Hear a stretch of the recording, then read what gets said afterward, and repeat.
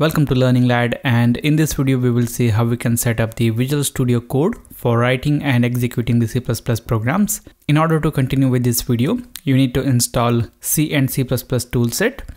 For that, in Windows you can install MinGW and then you need to download and install Visual Studio Code.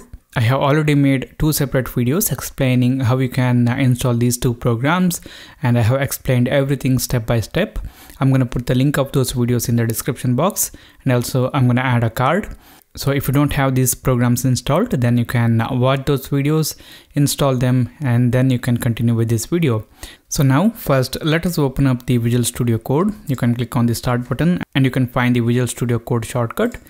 Click on it to open Visual Studio Code it will take you to the welcome screen. Now here uh, in the left hand side you can see extensions. Just click on it to expand it. And here we need to install a couple of extensions.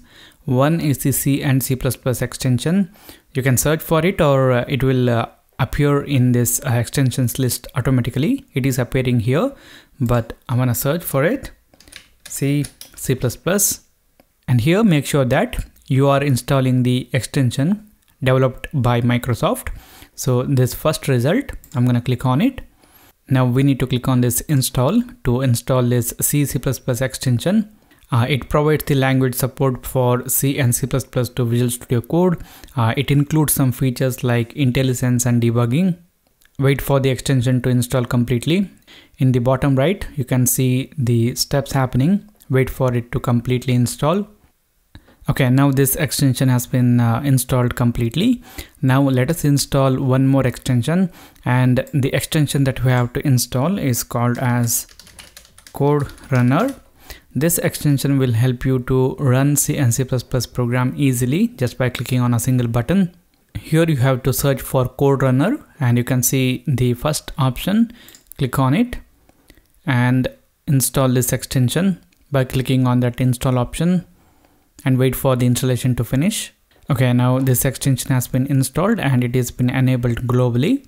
Now what we can do is we can uh, uh, restart the Visual Studio Code. So I'm going to close it and I'm going to open it up again. Okay, now we are back in the welcome screen. Now let us set up the workspace.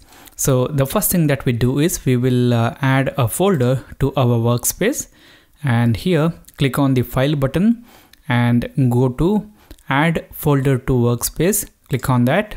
You can create a folder anywhere in your file system and you can add that to workspace. Here i'm gonna create that in my uh, desktop. I'm gonna create a new folder in here new folder. And i'm gonna call it as c c++ and after that i'm gonna select the folder and i'm gonna add it okay now you guys can see here the folder that we have created is uh, displayed in here. Now whenever we create a file inside this folder it will be there. Now if you want you can save the workspace. For that you have to go to file and click on save workspace as and you can give a name. Um, let us say I'm gonna save this workspace in my desktop and I'm gonna call it as C CPP programming and click on save. So now you guys can see we have the CCPP programming workspace and inside that workspace we have this folder CC++. Okay, now let us create a file inside this folder CC++. So select this folder and then click on this uh, new file option and give a name for your file. So let us say test.c okay now uh, you know we have opened this test.c file in here. Let me create a simple program. Okay now here i have written a very simple program.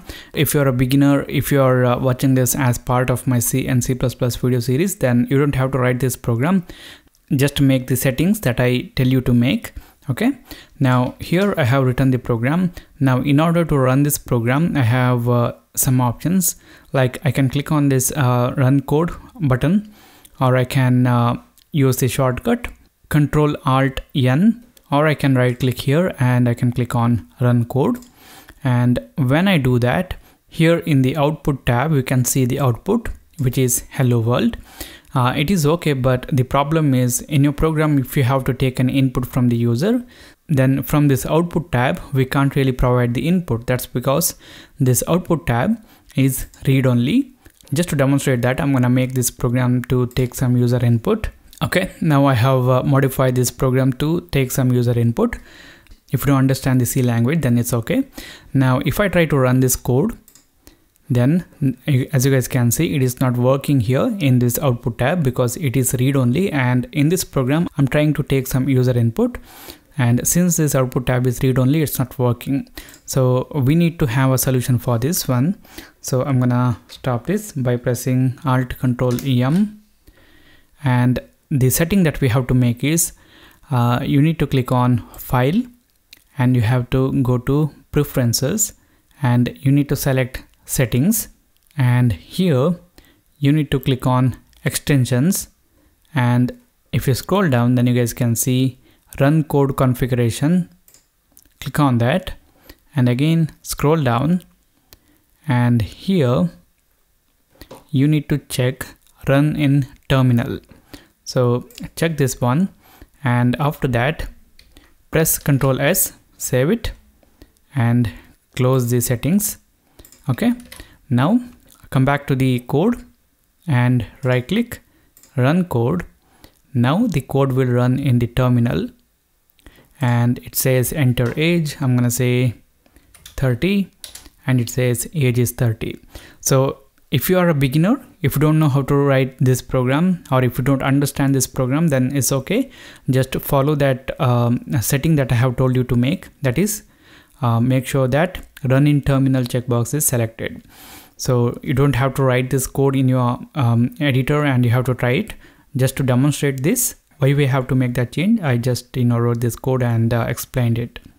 So this is it guys for this video. Uh, if you like this video hit the like button. If you don't like it hit the dislike button. If you want to say something then uh, write that in the comment box. For more tutorials like this do subscribe to the channel. Thank you for watching. I'll see you later in the next video